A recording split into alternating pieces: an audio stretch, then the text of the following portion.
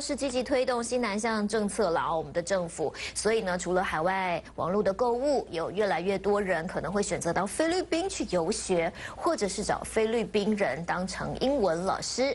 那这些小额费用必须经就需要使用跨国汇率了。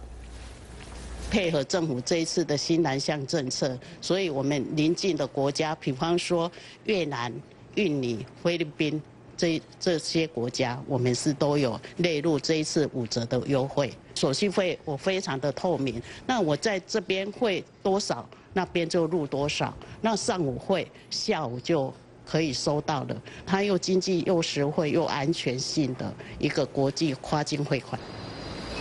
哦，有别于部分业者将要调涨跨境汇款的手续费，有本土银行业者就推出了优惠活动，提供民众更便利的小额跨国汇款服务。